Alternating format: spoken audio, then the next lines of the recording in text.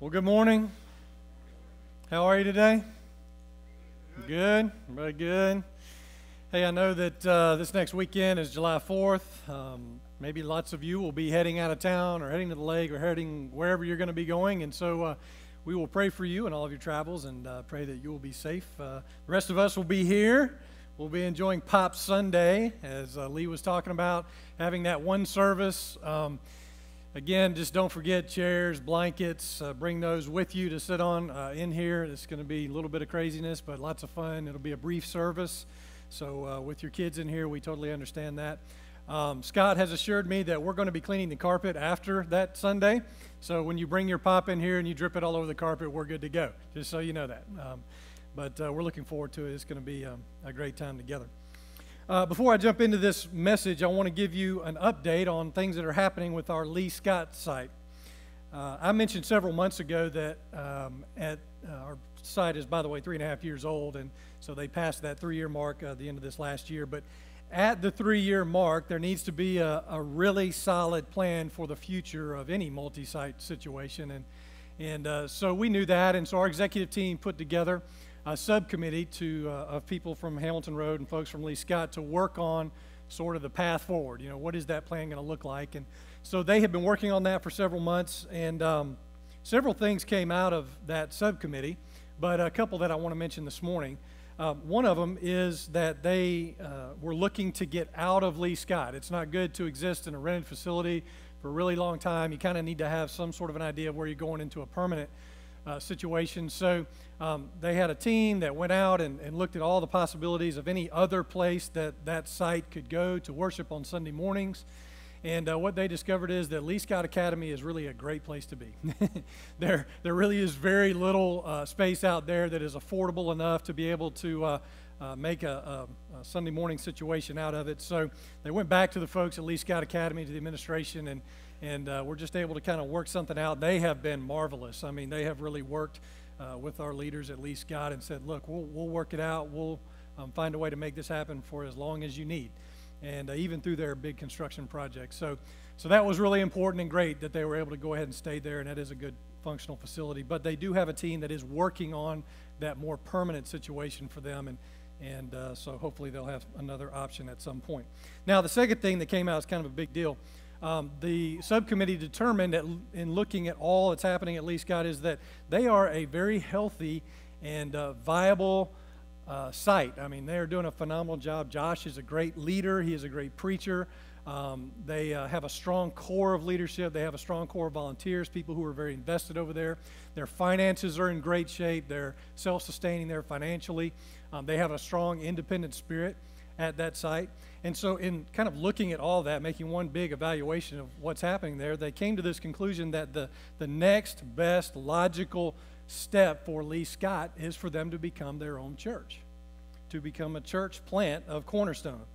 And uh, so they uh, kind of came to this conclusion, looked at that, and said, you know what, we really feel like God is leading us to that place. So they're in a process right now of transition over the next six months, and come January, they're going to launch out uh, on their own and as a church plant of Cornerstone. And we're really excited about this. This is going to give them uh, operationally, this is going to be better for them just to work more efficiently and, and more effectively there. And, and you know, I'm thinking like um, anything that we can do to multiply this movement, we should do that. And uh, there's this verse in Proverbs that, that says, Many are the plans in a person's heart, but it's the Lord's purpose that prevails. And you know, for 16 years, all we've done is follow the Lord's purpose for His next step for us. And we really felt like, you know, we, we sort of prayed at the beginning, Josh and I praying together about this idea and uh, started saying, you know, look, if it's going to happen, the doors will open. If it's not going to happen, you know, it's that classic doors opening, doors closing scenario. And if the doors just keep closing, we're not going to do this. But as we prayed and moved down this road, the doors just kept opening. And we really feel like that verse was coming to play that you know what, this is part of what God wants to do. He's helping us take this next step. So um, we're excited about this. It's going to be great to watch this happen. And one of the things that I love is that on the other side of them becoming their own church is us still doing things together, partnered uh, to do worship nights together, maybe baptism celebrations, go to Uganda together. Josh and I were friends before we were ever colleagues in ministry. That will never change. And so we're going to continue to get together and vision and plan and pray together for things. So um, just kind of looking forward to that moment, these churches sort of working together to make something happen. Josh and I produced a video. Um, it's on the website. If you want to go there, there's just more details, a little bit more discussion about the transition, so you can go there and, uh, and watch that. Okay, um, we're wrapping up this message series called Love God, Love People that we've been in for a few weeks. And um, I hope you've enjoyed being on that end of this series as much as I've enjoyed preaching it and, and Pat and all of us. It's been a good opportunity to make just this important idea so real in our lives of something as uh, profound as love God, love people. So uh, we're going to wrap that up today. Um, two things we've made some resources available to you. We have this magnet here that has that blessed strategy on here that Pat talked about a couple of weeks ago is just a way to engage your neighbor, uh, to engage uh, somebody in your community, for your small group to reach out to somebody. Um, this is a magnet.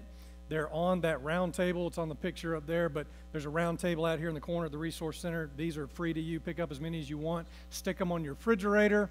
It's a great way just to, to be a reminder to you of uh, connecting with people around you. It's also a way for you to pray and just say, God, help me.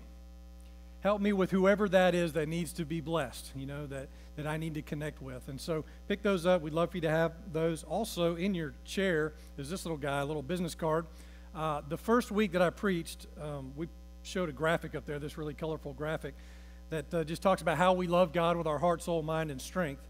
And after that Sunday, several of you said, Hey, is that going to be made available anywhere? I'd love to have that, you know, and that kind of thing. So we said, All right, we'll make a card. So we produced these little business cards. Um, take these with you, take as many as you'd like. Uh, you know, tape it on your computer, stick it on the dashboard, put it on the mirror at home, something like that. Again, just as a reminder that, you know, we love God with all that we are and all that we have. And uh, so we just wanted to put those in your hands. Feel free to take those. Again, all of that is available out in the lobby um, for as much as you want. So I'm kind of thinking about this Sunday's message, thinking through this sermon series this past week. I hear this song uh, on the radio that I haven't heard in a long time by this group, and maybe you've heard of them. They're called the Beatles. Have you heard of this group? Yeah. Yeah. So anyway, um, how about this song, All You Need Is Love? Do you know this song? And silence fell across the land as old Rusty talked about a song that nobody, anyway. So, yeah. So it goes, uh, All you need is love, right? All you need is love, love. All you need is. Oh, they're so weak. My gosh, are you awake? Are you here? We're not going to sing anymore. I'm not singing anymore. I'm just not going to do it. I know you're devastated, but I'm just, no. So, anyway, so there's this song, All You Need Is Love, right? And there's this, this uh, part in it that says, There's nothing you can make that can't be made. No one can. Uh, no one you can save that can't be saved. Nothing you can do, but you can learn how to be you in time. It's easy. All you need is love. Love is all you need. Okay, it's a great song, and, and it's really a great sentiment. You know, just this kind of big idea that really, if, if we just allowed love to lead us in this life and in this world, how great would this world be? Okay? So, and, and I get that, and, and that's a powerful statement in itself. But the, the question I have with that, though, is this What kind of love are we talking about? You know, what kind of love is it that's going to change this world? What kind of love? Because I'm not sure that Lennon and McCartney were thinking of the kind of love that I'm talking about today when they wrote this song. And so, is it the kind of love that, that I go get a dozen roses and I give it to my honey and I say, I love you? Is it the kind of love that says, man, I love a sausage biscuit with egg and cheese on it? I do love that, by the way. I, you know, I love football. I love, you know, frogs. I don't know, whatever. You say, you know, we use that term in so many different directions, so many different ways to talk about this big idea of love. And but the thing that we have to come back to is um, where does this love come from and what does it mean and, and what do we do with it? And, you know, every time I do a wedding, or almost every time, this passage is read, either by me or somebody else, from 1 Corinthians 13. And we kind of know it as the love passage. And uh, some of you may even know it by heart. Love is patient. Love is kind. It does not envy. It does not boast. It is not rude. It is not proud. It, you know, anyway, it goes on and on and on. And at the end, it says, Love never fails. Love never fails. It's a powerful statement about love. Now, Paul was writing about the love of God, to be clear about that. That it is God's love that never fails, you know? And, and so it is the love that we all depend on and rely on because it is the one that doesn't fail. And so when we want to love each other well, like in a marriage or in any other way, you know, we depend on God's love flowing through us to each other. That's the one that works, right? That's the love that we want to be sure is a part of who we are. And so love is obviously this powerful thing. And we remember that it doesn't generate or originate from us, it originates from God. So I want to talk about that a little bit this morning. Um, we're going to go um, all the way over into First John chapter 4, verses 7 through 12 to kind of look at something that he said about this. First John chapter 4, 7 through 12. If you have your Bibles, you can turn there. If you don't, we'll have it on the screen for you in just a minute. Um, but John, who was somebody who was close to Jesus, who would have understood this profound love that came to this earth, how it came, why it came, and what it means for all of us, kind of put this down. You know, he wrote this in his in his letter, in his epistle here, to give us this idea of the nature of love, where it comes from, and what we do with it. So let me read through it, and then we'll talk about it on the other side. He writes this Dear friends, let us love one another, for love comes from God. Everyone who loves has been born of God and knows God. Whoever does not love does not know God, because God is love. This is how God showed his love among us. He sent his one and only Son into the world that we might live through him. This is love, not that we loved God, but that He loved us and sent His Son as an atoning sacrifice for our sins. Dear friends, since God so loved us, we also ought to love one another. No one has ever seen God, but if we love one another, God lives in us, and His love is made complete in us. And so John just very clearly lays this out to help us understand where this love comes from, what we do with it, and what it means. And it's interesting that two times he does this, dear friends. You know, he's like, I'm not speaking to you as a preacher. I'm not talking to you as a teacher or prophet or something like that. He's like getting right on our level and going, Dear friend, friend, come here. Let me just talk with you for a minute. This is something you need to know. This is something you need to get, you need to understand, and you need to make this a part of your life. Dear friend. And he, he talks to us in this way. Very important. So, a few things that, that we capture from these verses. Uh, number one is that obviously, love begins with God. If we go looking for it anywhere else in the way that we're talking about this morning, we won't find it. It, it always begins with God. And he says love comes from God. And when he writes that, the intention that he has, it's kind of like, um, you know, it, th- this is not like a letter that comes from the mailman to your mailbox or a letter that comes from a friend, or this is not like the quarterback handing the ball to the, to the running back. You know, this is not where something has been handed off. This is not what he's talking about. What he's talking about is more like this like heat from fire, or the way that light comes from the sun. You see, heat is part of the nature of fire, light is a part of the nature of the sun. And in the very same way, God's love that comes to us, that we share and have in this life, it comes from His nature. It's not just something that He had and that He chose to give to us in that way. He gave us a part of Himself. And so when we understand His love and we accept that love in our life, we're accepting a part of just who He is, a part of His own nature um, into our life. And so love starts with Him. And really, you know, if you want to broaden that concept, you could just say, look, Everything begins with God. On the big stage of life, our life, life in general, the main character, the main actor is God. It all starts with Him. And um, I don't know about you, but when I get outside in nature, I get real philosophical about God.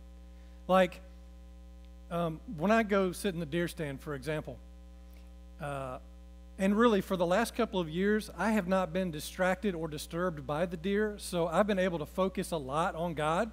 And it's been just great. You know, a lot of peaceful time with nothing coming around to mess me up. And uh, so it's been great. Um, but uh, oftentimes when I'm sitting there, if I sit there long enough, man, I just. I just go to God. You know, I'm just like looking at the trees, and I'm like, God, you, you created the trees. You know, it's like I look at the big peanut field. God, you did that. You know, and, and I just start thinking about God as creator. God as creator. You know, I didn't make that. You didn't make all that. There is this big God who, in his infinite wisdom, chose to create this, this place that we get to live in. And oftentimes people find God through this creation. It's how he's revealed himself to us. Or if you ever go to the beach and you just sit there long enough to look at the vast ocean and you just go, wow, Look at how big it is.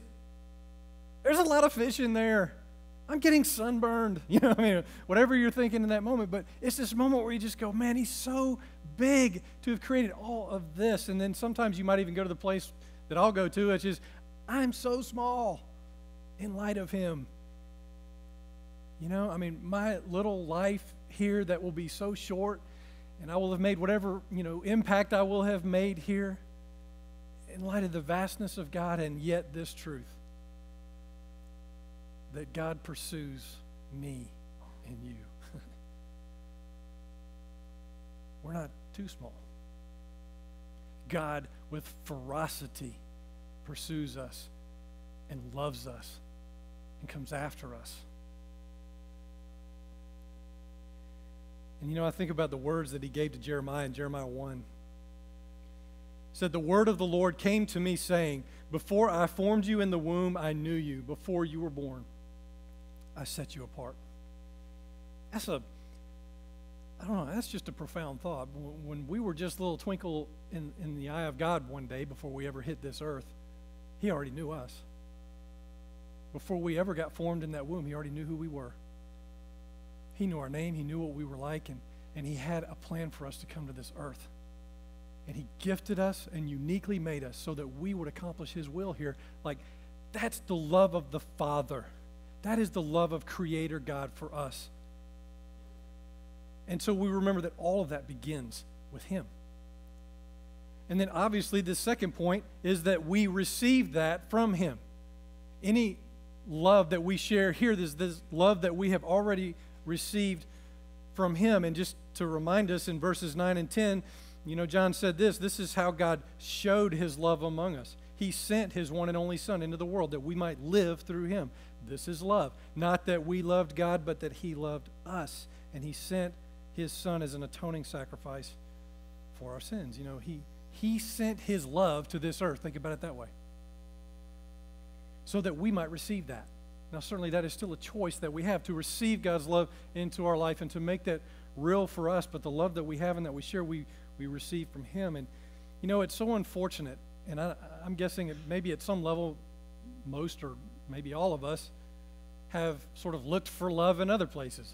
it's like this song, looking for love in all the wrong places. Anyway, I'm not going to sing that one because that's. Uh, but you know, we, we've looked for love or acceptance or value or worth from other people on this earth. You know, it's like, man, I, I want you to love me and I want you to give me worth and I want you to put your stamp of approval on me. And, and you know, there is a certain amount of that that we, we need as humans for sure, but at the end of the day, there's, there's really only one who can value us well, who can give us the worth that we ultimately need, who can love us perfectly.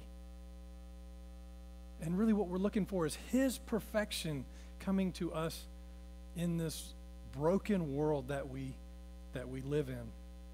Um, I was thinking about a, a story that I picked up from a blog of a rabbi, uh, and he was writing about uh, this moment that happened at a dinner that he had been at recently uh, at a place up in Brooklyn, New York. It's a school that caters to the learning disabled called uh, Chush. I think that's the name how you pronounce it anyway. I'm not going to go any further than that. But uh, so this dad gets up at this dinner um, who has a, a disabled son who's a part of this community, and he gets up to speak. And so he's kind of extolling the virtue of the school and how great the staff are and all this kind of stuff. And then he says this He says, Where is the perfection in my son Sam? Everything God does is done with perfection, but my child cannot understand things as other children do. My child cannot remember facts and figures as other children do. Where is God's perfection? And the audience was kind of shocked by that question. They just didn't see that coming. And, and then he says, I believe that when God brings a child like this into this world, the perfection that he seeks is in the way that people react to this child. And then he tells a story. And he talks about how he and his son Sam one day were walking through the park, and there was a baseball field, and there were some guys a little older than Sam who were playing baseball. And, and Sam starts tugging at his dad's hand, pulling him over toward the baseball park, and saying that he wanted to play baseball. Can I go play baseball? And you know, his dad was like, ah, oh, you know, and in his mind, he's thinking, gosh, we've been through this so many times, and and he's like, Are you sure? I, I don't know that you'll be able to, or, or they'll, you know, let you to, and all this kind of stuff. He says, I really want to play. And so his dad, you know, goes over and gives it a shot and talks to one of the, the kids there and says, Hey, is, is there any chance that, that my son could play baseball with you guys? And the guy was like, I don't know. He looked at his teammates and they were shrugging their shoulders. And he was like, Well, you know, we're losing and we're getting to the end of the game. Yeah, that's fine. Just bring him out here. We'll, we'll figure out where to put him in. And dad was shocked. And so little Sam goes out there and they stick him in the outfield and nothing really happens and they just continue to lose. And, and then they come in. Um, they, uh, they're up to bat. They actually get a couple of people on bases, which had not been happening, so they were real excited. And then it's Sam's turn to come up to bat. And so his dad is at the fence and he's like, oh my gosh, you know, how is this going to go? And, and uh, so they hand little Sam a bat and he doesn't know what to do with it and he walks out to the plate and uh, stands there as he had watched other people do. And then something starts to happen. The pitcher sees what's going on here, and he takes a step up. He takes the baseball, and he just kind of softly tosses it to Sam. Well, Sam, again, he doesn't know what he's doing, and, and he's swinging and chopping at the ball, you know, and everything. And so they pick up the ball, throw back to the pitcher. One of his teammates comes running out of the dugout, comes up behind Sam and reaches around him and grabs the bat with him. And they stand there together at home plate. The pitcher, again, he takes another step forward and he softly tosses the ball up there. And Sam and his buddy hit the ball. It goes dribbling out to the pitcher's mound. Sam is so shocked he doesn't know what to do. He looks up at this guy, you know, and he's like, We should run. We should run. The pitcher, meanwhile, has grabbed the ball. With a grin on his face, he takes it and he chunks it out to right field as hard as he could, over the right fielder's head, all the way to the fence. So Sam's buddy's like, run, run. And so Sam runs to the pitcher's mound. And he's like, no, no, no, no, come back, come back. Run this way, you know. So he takes him, he runs over to first base, and everybody's starting to cheer by now. Run, Sam, run. And so he gets to first base and he looks at his guy. He's like, well, let's run, keep going. And he's second base, you know. And Sam's like, all right. So Sam's running. Guy out in right field. He gets the ball. He turns around. He's got a big grin on his face. He takes it. He chunks it as hard as he can over the third baseman's head, all the way over to the fence. Sam's still running. He gets to second, looks at the guy, and keep going, keep going. He's like, ah, you know, okay, his eyes are big. He doesn't know what he's doing. He's running to third. One of the kids coaching third base is like, come on, keep going, keep going, you know. So he hits third and he's starting to make home. The guy out in the outfield has grabbed the ball. He's not throwing it, he's running in with the ball. All the outfielders are running in. All the infielders are running towards Sam. All of Sam's teammates have come out of the dugout. Everybody on the field is now running behind Sam as he runs to home plate. He runs, jumps on home plate, everybody who was anybody near this park was jumping up and down and shouting and, and clapping, and they put Sam on his shoulders and they're, they're marching him around. And Dad's standing over by the fence with tears in his eyes. And he says at that dinner, that day, those 18 boys reached their level of God's perfection. And it was this beautiful reminder that that's how God love impacts this world. That's how his perfection comes to us. And is in those moments when we choose to get outside of ourselves and we, we see somebody with value and worth because God has made them. And God loves them. And his love is perfect. And we receive it in that way. And then this last thought that, you know, God's love is so profound, it, it changes us, or at least it should. It is a, a love that, that literally changes us from the inside out and causes us to do things in this life. And if you go down in our verses in 1 John 4 to 19 to 21, it says, We love because he first loved us. Whoever claims to love God yet hates a brother or sister is a liar. For whoever does not love their brother and sister whom they have seen cannot love God, whom they have not seen. And he has given us this command anyone who loves God must also love their brother and sister. And so God's love causes us to change how we look at people. Maybe it causes us to, to get rid of our prejudices. It causes us to, to, to look at people through God's lens, right? And in there he says, we ought to love each other. It's this really great word. It, it kind of is like the way fish ought to swim, the way birds ought to fly, you know, the way humans ought to breathe, the way peaches ought to be sweet and lemons ought to be tart, the way born again believers ought to love one another. And um, it changes us and it changes people around us. I picked up a, a story out of uh, San Francisco. Interesting story about this lady who's a bus driver out there, and she has like created this buzz, um, and uh, she's kind of gotten to be a little celebrity out there. And it's all because of the way that she treats people when they get on her bus, and the way that she cares for them and reaches out to them in ways that she doesn't have to. It's not required of her job or anything.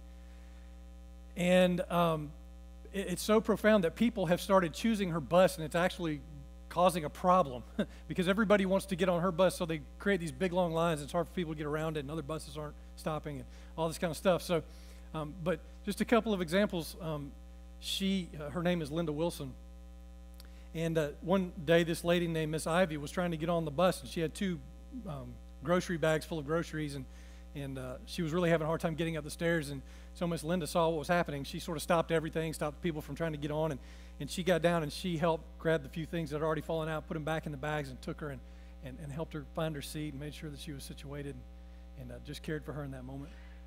Um, another time she was at the bus terminal, and there was a, a, a lady that was sitting on a bench by herself, and, and she just out of who Linda is, went over there and began to talk with her and discovered that she was in town. She was alone. Uh, Thanksgiving was in just two days away. And so Linda says, You know what? Why don't you just come to my house for Thanksgiving? You know, I know, I know you're going to be here over the weekend, and I don't want you to be alone. Why don't you just come with us? Lady comes over, hangs out with Linda and her family for Thanksgiving. They've now become best friends. Those are just two stories of, of a lot of stories of what she has done. So here's what's happened. Over time, people have started now bringing Linda stuff. If they have extra vegetables, they just bring them with her and give them to Linda. They found out that she loves scarves. She wears the same uniform every day when she rides the bus, and so scarves kind of help liven things up. So they bring her scarves. So she has this whole like thing of scarves. And they've come to love her because of the way that she has loved them. And in this article it says that her mood is set at 2:30 a.m. when she gets down on her knees to pray for 30 minutes her day begins right there. And she says, You know what? There's a lot to talk about with the Lord. There's a lot to talk about. And when she gets to the end of her line, the bus line, and she's done for the day, she has this sort of phrase that she says. She says, That's all. I love you. Take care. Every time she comes in, that's all. I love you. Take care. How many bus drivers tell you they love you? I mean, imagine the crazy day a bus driver has and all that they have to put up with and deal with. But you know what? She just she just turns that around and focuses it and says, "You know what? I love you. You're on my bus for a reason, so I want to reach out to you in any way that I can." And you might ask, "Well, where's the kingdom of God in this world?" I bet it's on bus number 45 out in San Francisco. Where's the church? I bet it's Miss Linda doing what she's doing in bus 45 out in San Francisco. It's that beautiful picture of of the way that we reach out and that we care for people. And, and I will say that in this day and age and in our society and in, in this world that we live in, it's very challenging, isn't it? And we will be challenged as followers of Christ to love people well, and it's going to get more challenging as we go down this road. And, um, you know, I think about what just happened this past week with the Supreme Court ruling uh, that they uh, legalized gay marriage. And um, I had a few people at the end of this week text me or ask me about that. In other words, does this affect the church, or how will this affect the church, or how will this affect our church uh, specifically? And and um, so I wanted to address that, and I want to do that as sensitively as I can um, this morning. Uh, first of all, just a very practical matter related to this: that the federal government uh, can't tell the church what to do or how to minister or, or, how to function that's protected by the First Amendment to the Constitution. But um, in the United Methodist Book of Discipline, we're United Methodist, and so every United Methodist church has a discipline that we go by. Um, and in there, it has uh, statements about lots of different things, but I wanted to read a couple to you this morning. One is about marriage. We affirm the sanctity of the marriage covenant that is expressed in love, mutual support, personal commitment, and shared fidelity between a man and a woman. We believe that God's blessing rests upon such marriage, whether or not there are children of the union. We support laws in civil society that define marriage as the union of one man and one woman. And then the next section is a statement on human sexuality, and it says this We affirm that all persons are individuals of sacred worth, created in the image of God. All persons need the ministry of the church in their struggles for human fulfillment, as well as the spiritual and emotional care of a fellowship that enables reconciling relationships with God, with others, and with self. The United Methodist Church does not condone the practice of homosexuality and consider this practice incompatible with Christian teaching. We affirm that God's grace is available to all. We will seek to live together in Christian community, welcoming, forgiving, and loving one another as Christ has loved and accepted us. We implore families and churches not to reject or condemn lesbian and gay members and friends. We commit ourselves to be in ministry for and with all persons. And you know, we very much here in this church align with that statement right there. And you know, we believe that uh, marriage has already been defined scripturally as one man and one woman together in a covenant made before God. Uh, that will never change, certainly here at this church. And um, we believe that falls in line with thousands of years of Orthodox Christianity, of mainline denominations, of you know, all of that. But we will be in ministry to all persons. We will be in ministry to all persons. As much as we absolutely possibly can, we will. I want to read another statement to you. It's uh, from a magazine that I used to work for called Good News, and this is just an excerpt from an article that they wrote.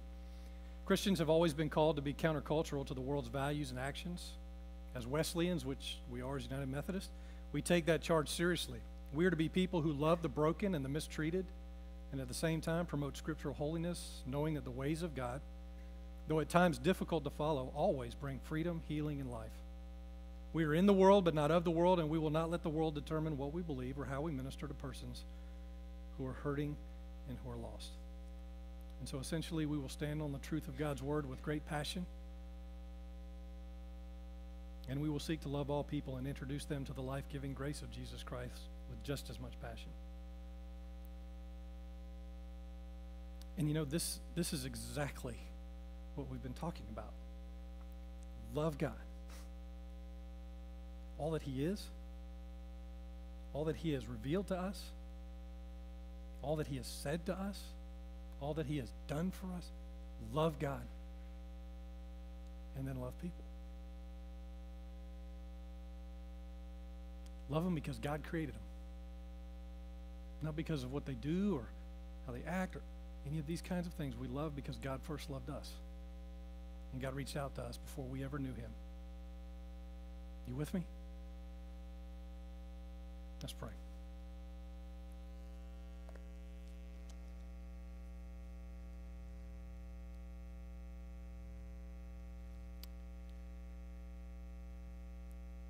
Heavenly Father, we thank you for your truth revealed in Scripture to us.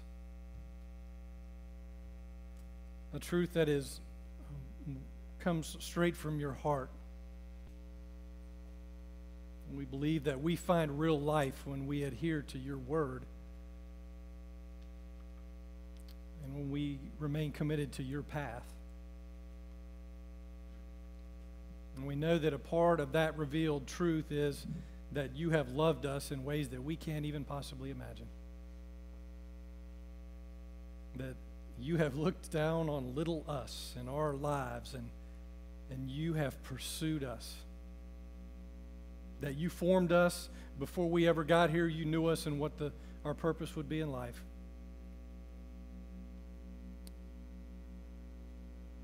And so, God, we thank you for that. We are humbled in light of that truth. We are amazed at your grace.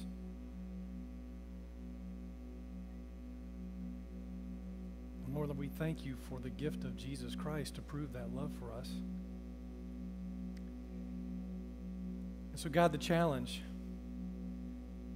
is for us to live that way in this life, for your love to be revealed in a world that is struggling in brokenness in darkness and pain. And more darkness will not help. And so, God, I just pray that all of us would would not just know the challenge, but would take up the challenge to be a light in the darkness, to be people who are ambassadors of the love of Jesus Christ in this world.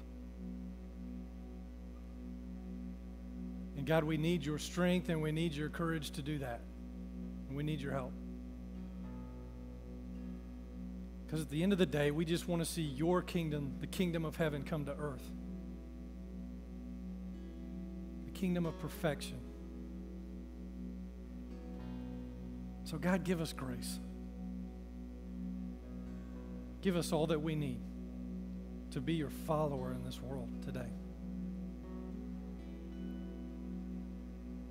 So, once again, we bow the knee to you and we lay down our life. We say thank you. In Jesus' name.